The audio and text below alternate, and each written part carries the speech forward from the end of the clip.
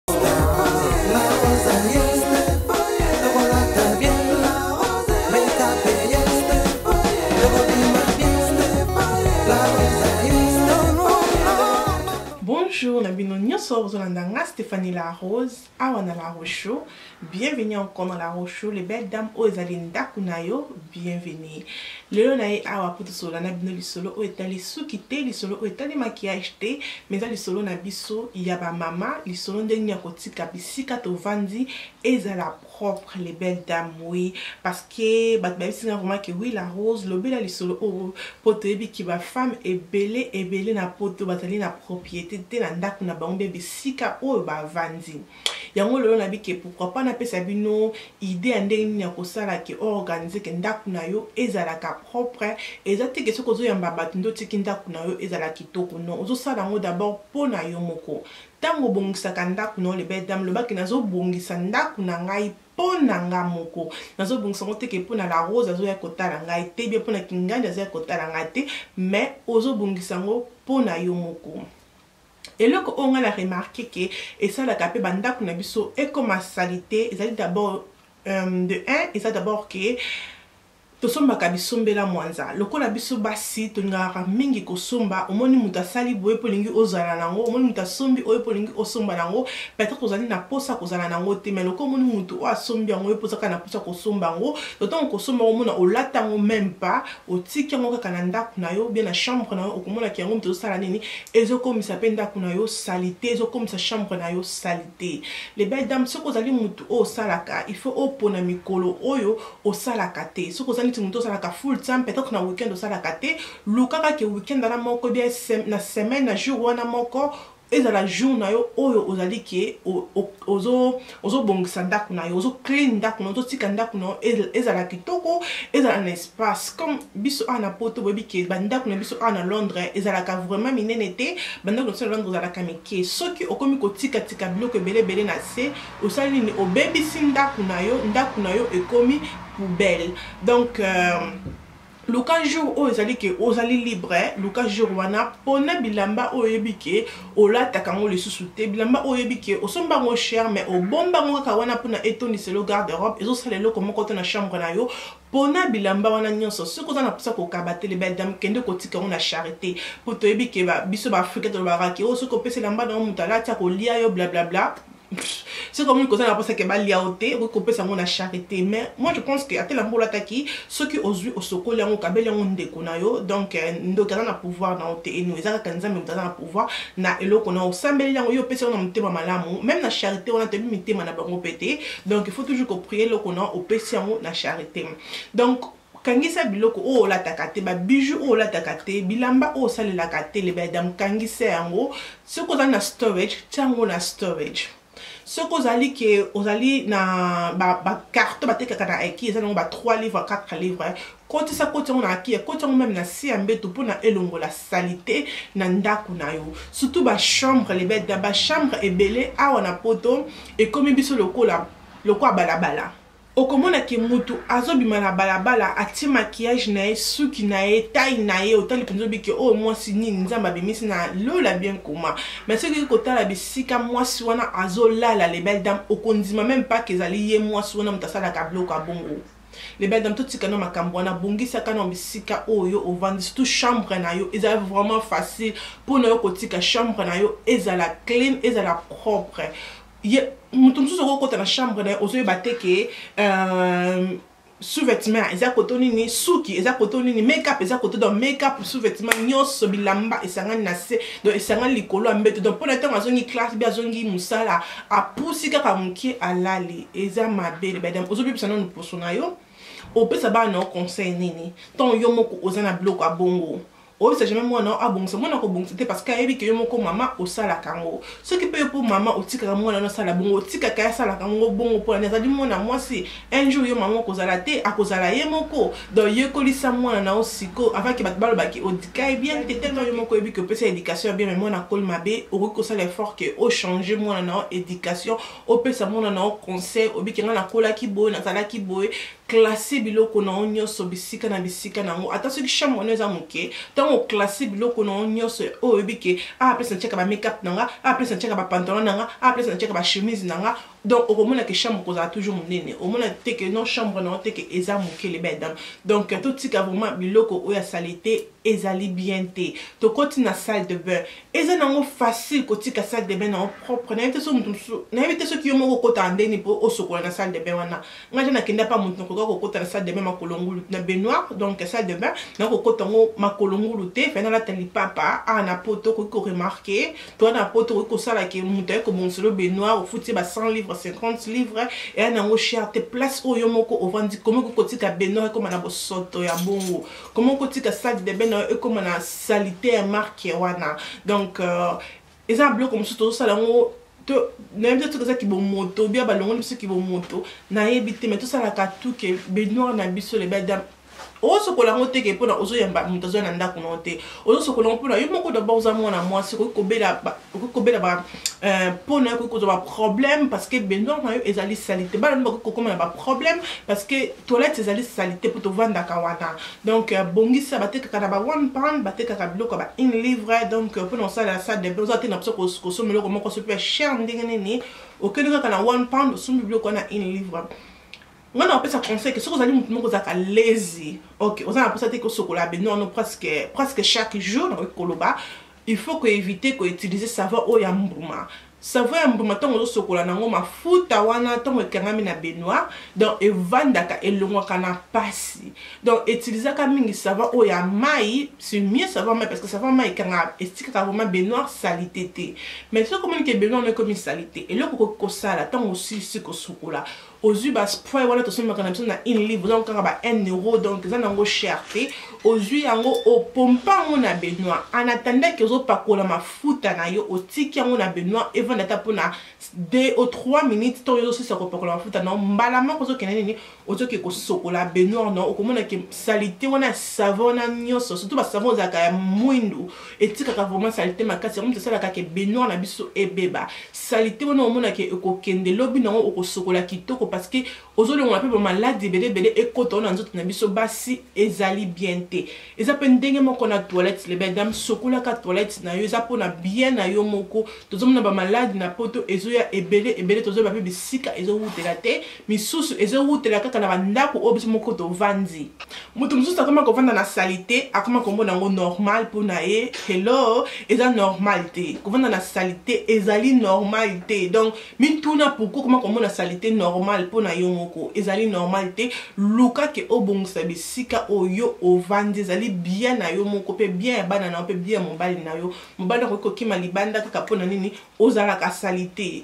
Oui, oui, salite pe boy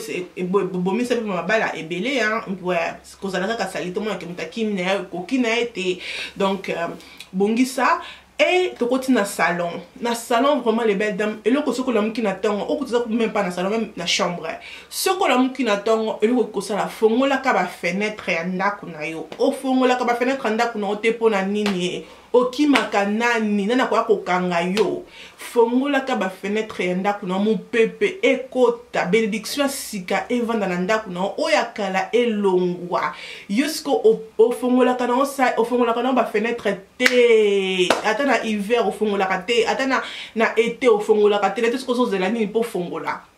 nati soki okimaka niongo ya nani mpo fongola fongolaka fenetre na mopepa bien ekota mopepa mabe ebima ntango olamuki na ntango ezalaka bien kosala bongo ntango tolambaka biloko na biso bacongolais ezalaka mingi na na sola makasi ezala mingi na sola moni pake sola pondu eko ovanda lwa wana journée mobimba ezolongwa te toza na baparfum okoki kosalela na kotyama bafoto na yango na koluka bafoto na yango natyela bino yango to toza na baparfum okoki kosalela mpo na elongola solo oyo ya biloko oyo olambeli otie parfum na yo wana opelisi mwa bougie na yo ozomona ke evandi elongo lisolo nyonso oyo biloko olambaki to moto akokota na ndako nayo ah est ce que moto oyo alambi bi alambi te donc tellement que solo moko kitoko biso solo moko ya vanilla parce que nga alingaka mingi basolo ya vanilla wana ezalaka vraiment bien esalaka biso mpenza yo moko ntango okoti na ndako te hmm, erelaxe yo zo soki outi mosala outi mosala olembi outi mosala olembi mpe esika oyo ntango oya na ndako yo nde esalaka esalaka bien moko ntango na ndako ovandi mpana kitino tyebo ah Nawuti musala. Sikoyo yo soki owuti musala na ndako yango ozoya mpo oyebi ke ezalaki deja salite chambre bisika ozoyebi ke deja opanzaki panzaki na yo donc euh, le belle dame ezali bien te sombaka baparfum wana baparfum wana ezalaka bien e edaka biso mpo na ntango olambi elongola solo oui il faut fongola fenêtre ntango olambi oui c'est bien sûr faut fongola fenêtre mais parfois na ezo aide ke po solo biloko na biso ya ba congolais ekende mbangu elongwa mbangu avaki ekangama kangama na bilamba be avaki ekangama kangama na nzoto donc edaka pe ekende solo wana ekende mbangu ndako etikala na solo ya kitoko tokoti na cuisine bamama na ngai cuisine na biso toza na biloko ebele yo fo bongisa yo fo zala donc osisi kolamba onikaka no ata rechaud te osisi kolamba onikaka no ata four te donc ozoyeba te ke ma creve ma creve ekoma lokola kaki na kati les belles dames bamama na ngai tozalaka kitoko na maquillage te tozalaka kitoko na biso na suki na biso te tozala kitoko na biso na bisika oyo tozovandela kitoko ya mwasi eyebanaka place oyo ya vandi nga la rose po yeba pe kitoko nanga ifo ya na ndaku nanga po yeba ke ah la rose azalaka eh mwasi wana azalaka kitoko ayebi kolamba ayebi kosala bo azalaka kitoko oui kitoko eza kaka te ke oui la rose po azoleka na youtube la rose po azoloba non kitoko eza noke fo tobongisa bisika oyo biso moko tovandeli bandaku na biso ma creve ekoki kokoma na, na, na couleur ya kaki na kati po ozokontinue toujours kochauffe biloko na yo après lobi lobi okokaki yo cancer eyeli yo o maladi bona cœur eyeli yo o ovimbaki libumu kote oyeli yo ozoyeba te ke maladi wana euti ngai wapi yo moko créer yango na ndako na obanda ça fait combien ça fait ça fait dans how long oze eloko wana ezalaki sali te bongo osokolaka yango te msi mpoza na bajeune fille na ndako otindaka eyake eh, ngani sala ah, ah, okende pa osala ne mpe te mikolo ezoleka salite wana evandi na macro eh, bamama na ngai ezali vraiment facile ezali facile yayo ya kosala ke macreve na ezala propre ezali vraiment facile omoni ki ochauffe um, eloko eloko ebebi bien eloko ekwei bien potopoto ekwei ya mwana bien eloko moko obimisi yango osokoli ekozwa meme pas 5 minutes ya kosala yango mpo na kotika yango ezala bien oevite bamaladi ebele na poto ezoyela biso oevite bosalite banyama ebele okotela ko na ndako bato mosusu baza bazalaka meme na bakimpweka na kati ya bandako na bango parce que oza na poto mais ozovivre lokola meme na moto ya kongo aleki yo na propriété bamama na nga totika totika bosalite tobongisaka ndako na biso bisika tovandi tiango na motu na oke nazobongisa ndako na nga première eloko ya liboso ezobongisela ndako na nga ezali nano mpo na ngai na famille na nga tozala bien toexpiration moko ya bien tolia biloko ya bien tosokola tozali à l'aise tiango nano mpo na yo kotiango ngo teke no mpo na camarade moko azoya kotala yo moto mosusu akozala aza salite e camarade azoya kotala ye akolukaki abongisa bongisa meme soki obongisi bongisi mbango mbango me moto soki akoti akoyebake moto azalaka salite parce que moto asali te meme abongisi mbangu mbangu mbangu mbangu mbangu ntango okokota okoyeba ke moto azalaka asali te mpo omonaka ye ndenge akobongisa tomona solo moko etouffema na ndako ozomituna me ndenge nini ye azo ndenge nini azovivre na kati ya ndako oyo comment toza bajeune toza bajeune yo mpo ozotalanga so oza mpe na age ya 16 ans ozali jeune koluka te ke okola na salite ezali bien te ezali bien te fo osambele na yango nzombe obake nzambe epesa ngai makasi wana ya kobongisa ndako na ngai ya kobongisa chambre na ngai ezala kitoko nde kaka nde osali ngai nzoto na ngai ezala kitoko boye nde mpe nalingi mpe ke ndako na ngai bia chambre na ngai bisika ovandaka ezala kitoko totika dabord kokendaka bawenza batongo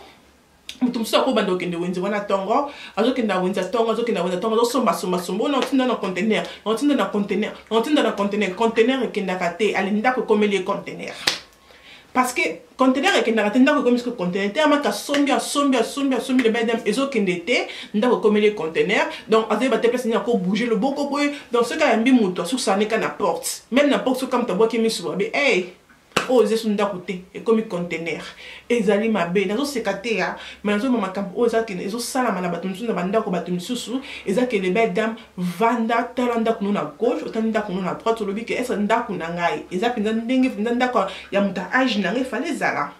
nazwi opportunité ya kozala na ndako ebele baza ba homeless ebele baza libanda bazoluka ndako me ngai nazwi opportunité wana bapesi ngai ndako na poto estce ndako na ngai ifo ezala ndenge ifo ezala mituna question wana mpe tikaka lebenda tikaka kokendaka bawenze kosala ko, ko babilokos oza kaka moto oyo olokotaka bilokos olingi komona mondele abwaki te olokoti oyo nango na ndako mundele abwaki te olokoti oye nango na ndako mundele ye moko azoluka espace netikala mopepe ya kitoko kotela na ndako mai yo sikoyo lokoza no bilokoti ozokendaka kaka kolokotaka e eh, nakokenda na kini kino mpe yango babombi bakanya wabike biloko abongo eleka lisusu te parce que eh, moto azwi ide wana asali bien mpo kini eza poubele na biso te ya kini eza poubele na biso te e eh, nakokenda na congo na lokota nakokenda ekendaka mpe te bande evandaka wana ekangi yo baespace totika totika biloko wana ezali bien te nazoseka motu te me nazoloba biloko mosusu e mosusu yo osalaka oyebaka te e mosusu yo osalaka moto azalaka moto ayebisaka yo yango te parce que moto azoboya e mosusu koyebisa yo mpona eh, relation na bino relationship na bino ebeba mais e mosusu ngai nazalaka meme na opportunité wana nayebi yo te mais ntango otalaka nga olingaka nga la rose peut-être eloko oyo nazoloba ekokoede yo lebel dame bongisa ndako na yo le belle dame koluka kaka te kosomba kaka maquillage osomba kaka suki olingi komona bo balakisi te ke osombi non biloko nyonso oyo ngai nalakisaka olingi koloba te ke fo osomba yango le belle dame non somba biloko oyo ozali nango mposa oyo oyebi ke soki nasombi nakosalela yango tie kosila apres nini apres nasombi donc euh, tikaka ndako na yo ezala kitoko bongisaka moto mosusu omona ke azali na bana azwi bajoue ba ya bana ah, apanzi apanzi mwana kozala na se wana donc le belle dame baboxe wana na akia ezali ozwi bajou ya mwana se normal mwana aza mwana moke opanzeli mwana asakana na boyi te nga mpe nasalaka yango na kiliane